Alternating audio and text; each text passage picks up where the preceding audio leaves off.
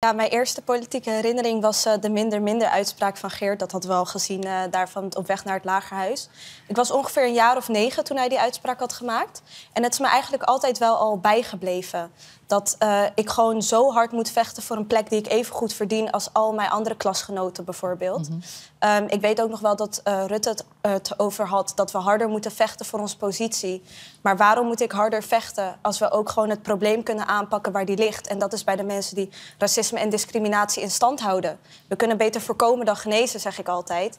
En dat is gewoon het probleem bij het kern aanpakken.